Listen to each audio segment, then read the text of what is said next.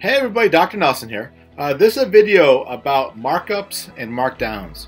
So we're going to do a couple problems together in the first couple of pages, and then you have a chance to pause the video and try a problem on your own, and then at the end you can see how you did.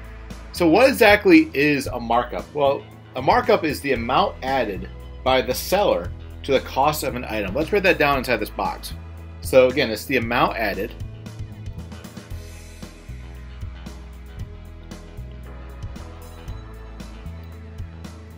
by the seller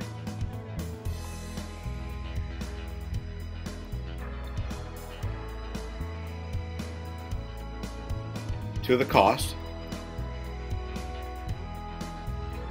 of an item. So an example of a markup, markup would be, say if you wanted to buy a television. Well, so say you go into Walmart or, or Best Buy, and you notice that the television costs, say, $500. Well, most likely, Best Buy didn't pay $500 for that TV. They probably paid $300. And what they do is they add a certain percentage to the price so they make a profit. All right? So let's do a problem here together. So it says find the selling price of a television where the cost of the television was $350, but then it's marked up 30%. So what we're going to do is we're going to create a proportion. And again, it's going to be a certain type of percent proportion. So we're going to have 100 be down here. And we know that 100% of the price right now is $350. So the 350 is going to go across from the 100. But the company decides to add an additional 30% um, to, the, to the original cost. So we're going to have this one be 130. So notice I added 30% to the 100, and that makes it 130. And this will, right over here, this n value will be the actual uh, cost of, of the television. So now that we have our proportion, we can write our equation. So 100 times n is 100n. That equals 350 times 130. That gives us 45,500. And again, the way I wrote this equation is anytime you have two equal ratios, you know their cross products are the same, right? So n times 100 is 100n, and that equals 350 times 130. So now when I solve the equation by dividing both sides by 100, we end up with n is going to be $455. So that's actually the cost of the TV that the seller would sell it for. So they bought it for $350. the markup was 30%, and that made it to $455. All right, so if you turn the page, let's now take a look at the opposite of a markup, but say a markdown. All right, so a markdown is again is the opposite of a markup. A markdown is basically a reduction in the price. So let's write that down here. A reduction in the price. Now, a really good example of a markdown would be Halloween candy. Okay, if you want a really good deal on Halloween candy, buy it the day after Halloween because everybody's bought it, right? And, and stores want to basically get rid of all their product, so they they have more room on the shelves. So the markup is when the price is actually reduced.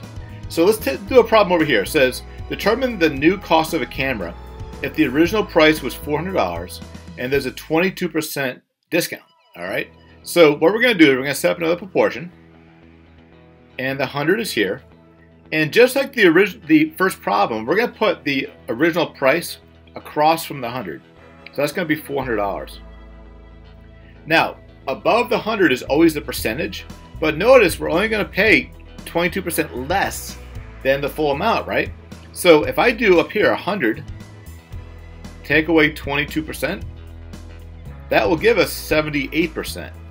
All right, so this is going to be 78% over here. And this will be the unknown. All right, so really important. Notice on the other page, when it was a markup, I added the percentage to 100, like 130. But when it's a discount, I subtracted the percentage uh, from 100. So now that we have a, proportion, we can use a little algebra to solve it now. So 100 times n is 100n. And that's going to equal 78 times 400, which is 31,200. And then finally divide both sides by 100.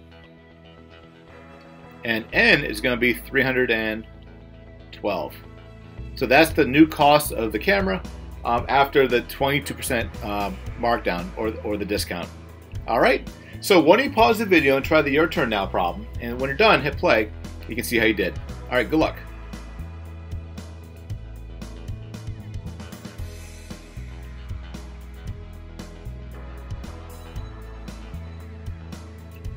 All right, welcome back. Let's say you do this practice problem. So we know that an Xbox is advertised for $250 and is discounted 20%. Determine the new cost of the Xbox. So because it's going to be marked down, we know that the cost is going to, be less than 250. So what I did is, is I set the proportion already. So we have 100 in the denominator, and notice I have 80 on the top. Now the way I got 80 is again I subtracted 20% from 100%, and that's how I get 80%. So because the original is 250, that goes across from the 100. And then the n is the unknown. So now we'll use algebra to solve, so it's going to be 100n equals 250 times 80 gives you 20,000. And now when I divide both sides by 100, 20,000 divided by 100 is 200. And there's the answer. So the Xbox, was discounted or marked down by 20%, the new cost is $200.